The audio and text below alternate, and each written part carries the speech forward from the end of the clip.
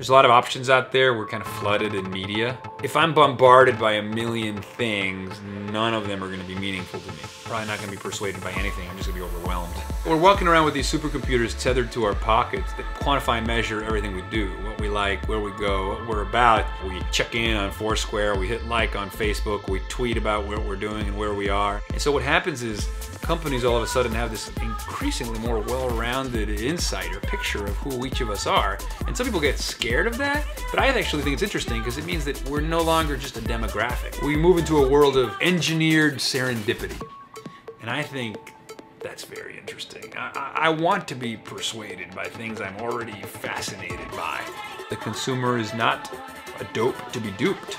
I think the consumer is the toughest market disciplinarian there is.